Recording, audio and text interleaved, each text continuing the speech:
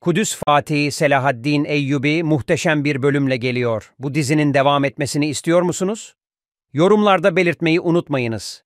Selahaddin ve Nurettin Şam'ı almayı başardı. Ancak tehlike bitmiş değil. Şimdi de Selçuklu ile uğraşmak zorunda kalacaklar. Bernard ise tekrardan güçlenmeye çalışıyor. Yeni müttefikler bulmak için harekete geçiyor.